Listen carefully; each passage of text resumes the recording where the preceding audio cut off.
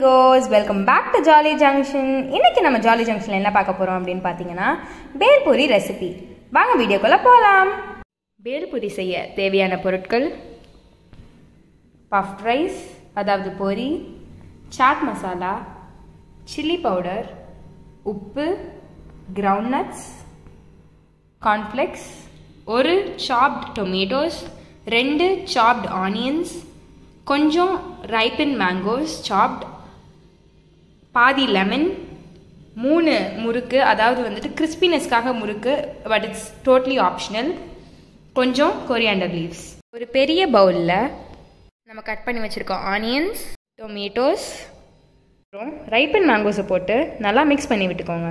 இப்போது நம்ம எடுத்து வச்சுருக்க பஃப்கார்ன் கிரவுண்ட் நட்ஸ் அப்புறம் கார்ன்ஃப்ளெக்ஸ் இதையும் போட்டு நல்லா மிக்ஸ் பண்ணி விட்டுக்கோங்க. இப்போது லெமனை நல்லா புழிஞ்சு விட்டுக்கோங்க. இப்போது தேவையான அளவு உப்பு மிளகாத்தூள் சாட் மசாலா நான் முறுக்கு நொறுக்கி வச்சுருக்கேன். அதையும் ஆட் பண்ணிக்கலாம்.